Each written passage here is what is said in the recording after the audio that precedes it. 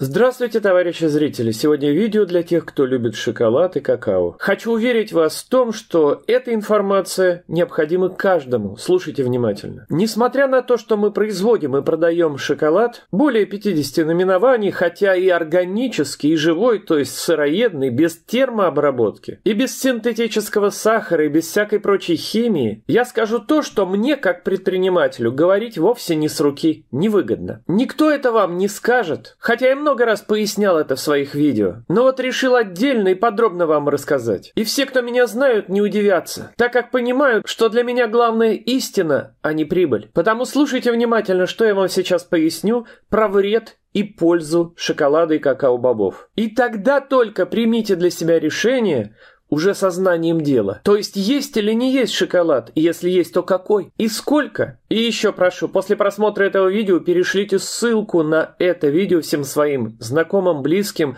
коллегам, кто вам не безразличен, не поленитесь. Какао-бобы добываются из растения какао. Растет оно в тропиках. Созревшие плоды ферментируют, жарят, перерабатывают, измельчая, для производства шоколада. Ну и добавляют, конечно, сахар, может быть, сухое молоко и тому подобное, смотря какой будет шоколад. В общем, разные добавки. Чтобы вы знали, какао-бобы – это один из самых дорогих, растущих в цене продуктов и товаров даже, можно сказать, в мире. Продают его как золото и нефть на биржах. Только за последние два года бобы дорожали более 20 раз. Не в 20 раз, а 20 раз увеличивали цену. Но весьма прилично тоже. А в этой связи подумайте, во-первых, может ли натуральный шоколад быть дешевым? А во-вторых, за последние два года подорожал шоколад ну хотя бы раза в три.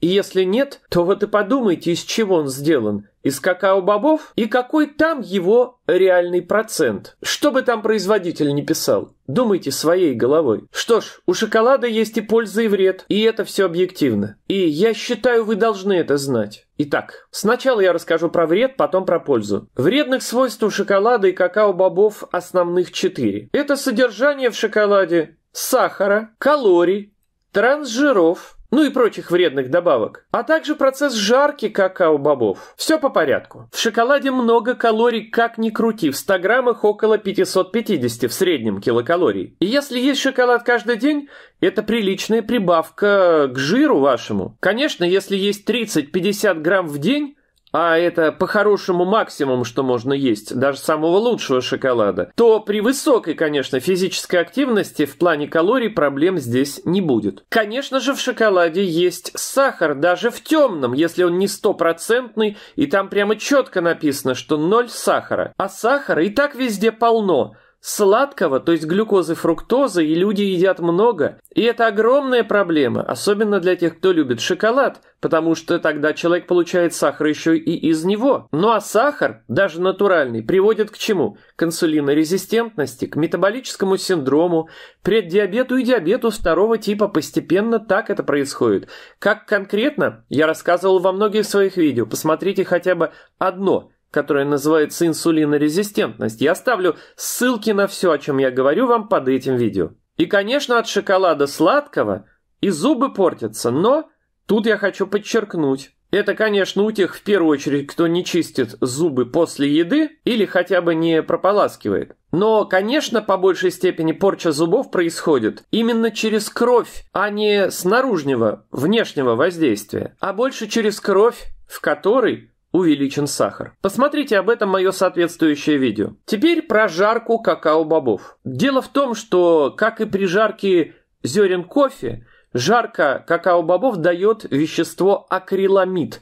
Это мощнейший канцероген. И он даже приводит к раку. Это, имейте в виду, это аксиома, это истина. Но есть технология, есть, без жарки. Вот мы именно ее применяем. Это совсем другое оборудование, это гораздо сложнее и дороже. Поэтому индустрия мировая, все, что в магазинах продается, это жареные какао-бобы. Имейте это в виду. Следующая проблема. Дешевый шоколад часто, да почти всегда, это недорогое масло какао, ну, которое используется в шоколаде. А дешевый дешевое, рафинированное пальмовое масло, а это трансжиры. О пальмовом масле у меня уже было видео, посмотрите потом. Знаете, шоколад должен таять в руках, причем очень быстро. Это обязательно, но если и тает, то это совсем не значит, что шоколад качественный и тем более безопасный. Если он размягчается в руках, но не тает, это ужас. Это гарантия того, что в шоколаде есть трансжиры.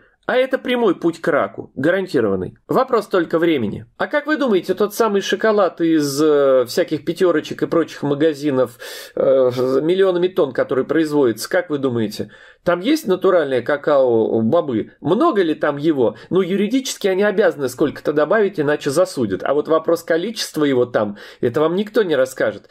А трансжиры там есть? Ну вот если Плитка шоколада стоит там 100 рублей или дешевле. Как вы думаете, даже малюсенькая. Вы что, думаете, там не трансжиры? Не, не пальмовое масло? Ну, не смешите. И не глумитесь над разумом. Конечно, трансжиры там и есть. Я уже не говорю про какие-то особые добавки, которые только производитель знает. Ну, чтобы подсадить человека на его продукт. А такое творят, ну, практически все крупные производители. Помните извечное истинное определение Маркса про прибыль? Ну и про капитализм. Это только я один такой дурак который э, отговариваю покупать шоколад даже мой. Кстати, на что теряю колоссальные деньги каждый месяц. Ну, то есть недополучаю потенциальные обороты и прибыль, соответственно. Еще одна проблема, и она в основном характерна для женщин – постменопауза. Тогда у тех, кто налегает на шоколад, быстрее развивается остеопороз. Но проблем не будет, если принимать витамин D3 и витамин К2, о которых у меня были видео. И, конечно, есть достаточное количество зелени, тогда остеопороз не грозит и развиваться не будет. У некоторых женщин шоколад также провоцирует мигрень, но это индивидуально. Еще одна проблема. В шоколаде много кадмия. То есть это такое свойство растения,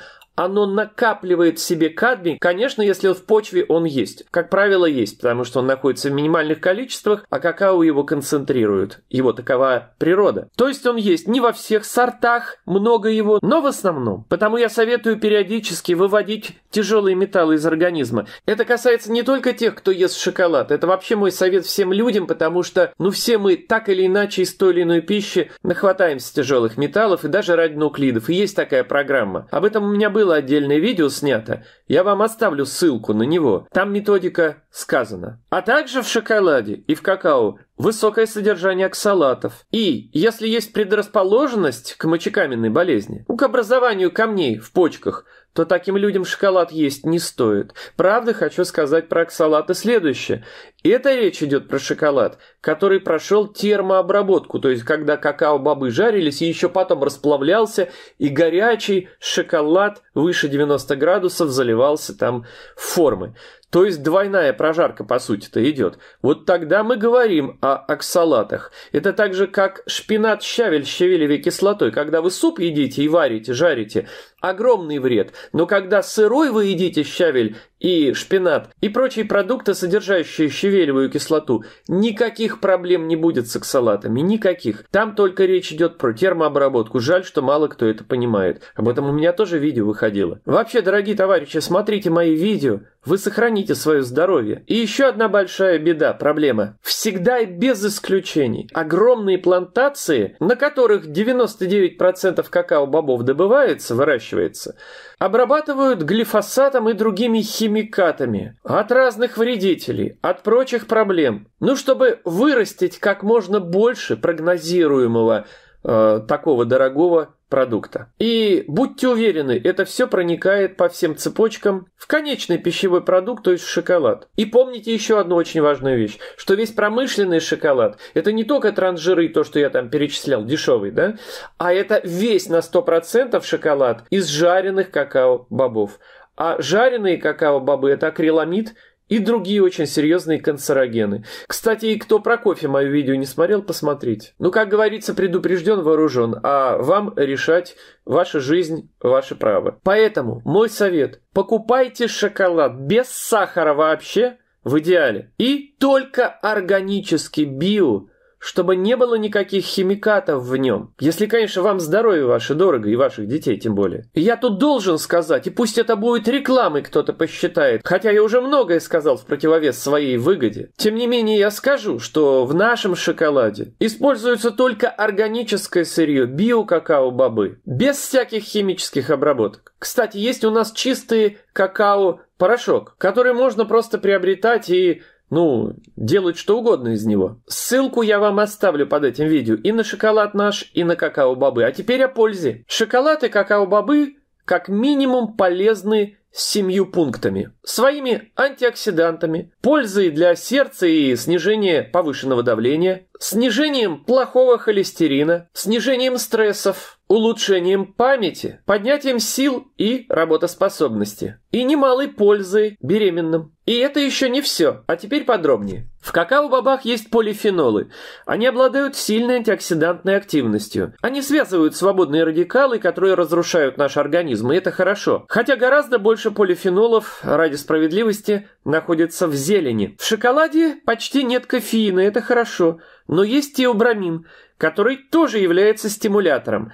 Поэтому если съели вы шоколад вечером или перед сном, то заснуть некоторым людям будет трудно, не стоит этого делать. А какао, бобы и, конечно, шоколад из него очень полезны для сердца. Они снижают повышенное кровяное давление из-за высокого содержания магния.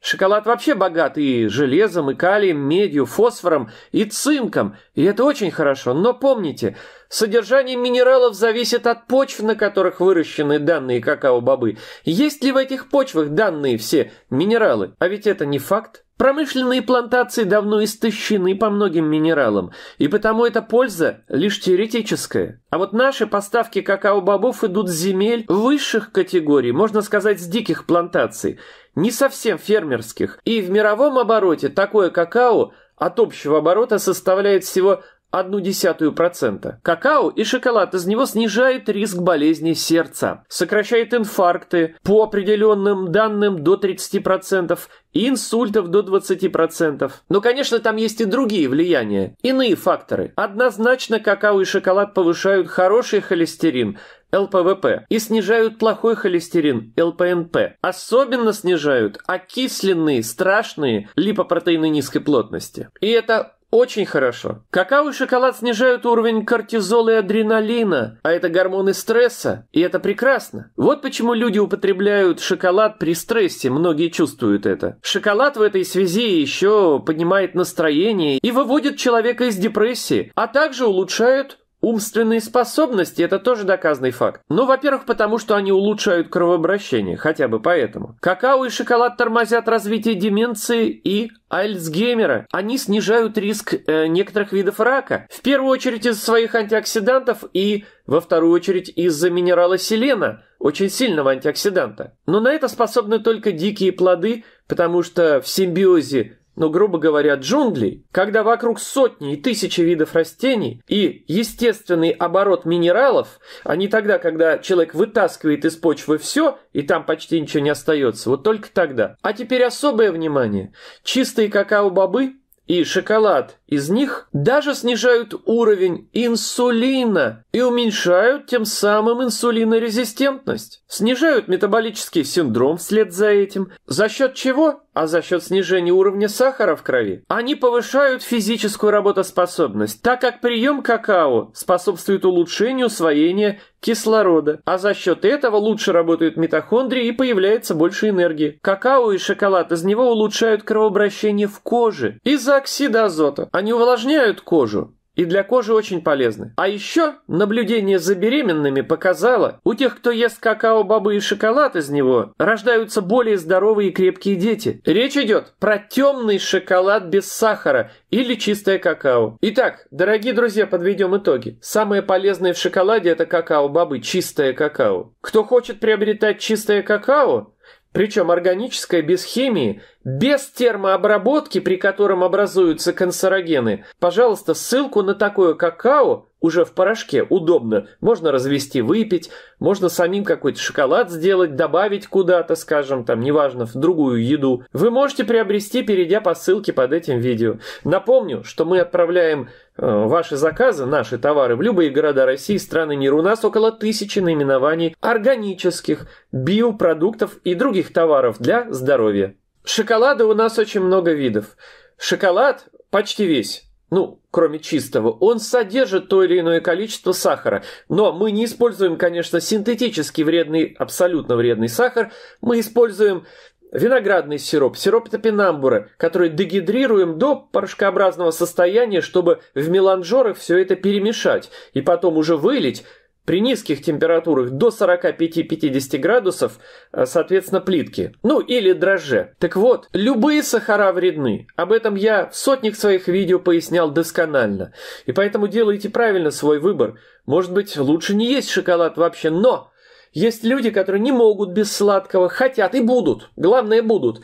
И еще более важно, что детей своих пичкают, внуков – так тогда я скажу, лучше уж пичкайте, да более дорогим, но качественным, менее вредным нашим шоколадом, чем химии разной поганой, э, где просто чистый сахар, и который вреда принесет по причине сахара, химии, консервантов и разной гадости прочей гораздо больше, чем наш шоколад, который вреден в этом смысле только лишь одним. Это натуральным хоть, но все же сахаром. Ну а конкретно фруктозой или глюкозой, которые содержатся в натуральном виноградном там или сиропе топинамбура, или сиропе агавы, или других сиропах, кокосовом, например, сахаре. Тем не менее, честно, прямо открыто.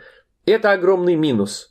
Но в остальном наш шоколад – это вот те самые плюсы, о которых я вам только что рассказал. Но если вы абсолютный такой перфекционист и разумный человек, и еще человек, имеющий силу воли, но желающий получить полезные свойства от какао, бобов и шоколада, то ешьте тогда наш органический темный шоколад, немного ешьте, и ешьте какао-порошок, ну, который вы можете, как я уже сказал, добавлять куда-то. Вот та информация важнейшая, которую я надеюсь до вас в полной мере донес. Я очень надеюсь, что эта информация вам поможет сделать правильный выбор в жизни, и вы Пожалуйста, поставьте пальчик вверх этому видео, напишите свой комментарий, ведь они продвигают ролики в Ютубе, это для меня очень важно. Ну и, конечно, поделитесь ссылкой, как я в начале видео говорил, на это важное видео со своими друзьями, близкими, теми, кто вам дорог и не безразличен. Приобрести все то, о чем я говорил, посмотреть те видео, которые очень важны, я вам советовал, вы можете, перейдя под этим видео по ссылкам. Ну и в завершение я попрошу вас поставить пальчик вверх, подписаться, кто еще не подписан на мой канал, нажать колокольчик и выбрать получение уведомлений о выходе всех видео, отправить ссылочку на это видео всем друзьям, знакомым, близким, поделитесь и оставьте комментарий под этим видео. Это поможет продвижению моих видео. И это будет минимальной хотя бы благодарностью от вас мне за мои труды, за мои видео. Всего вам хорошего, до новых встреч!